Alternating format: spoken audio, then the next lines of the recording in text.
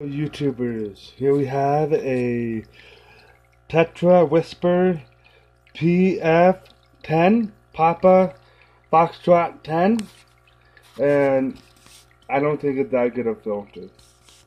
No, I just set it up not even 15 minutes ago and my tank is pretty clean.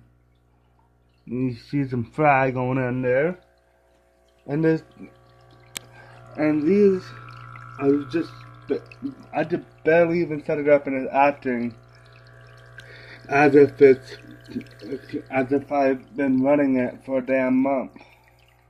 And the reason why I have this open, listen to this. Yeah. Very loud too, so I would not recommend this filter. Petco says that Walmart filters are better.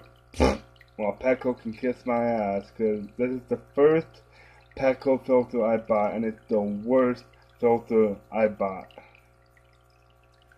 Petco can kiss my ass with that shit. Anyway, that's my review. Just give you a little idea of what's in the tank.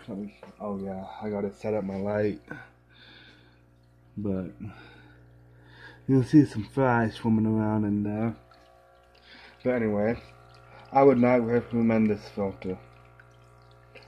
From my experience with it so far, go and buy yourself a Walmart filter. And just so you can see what filter this is, Whisper PF 10 from Tetra. Yeah, piece of shit filter. At least it get my water circulating and get somewhat filtration in there. So that's my review today.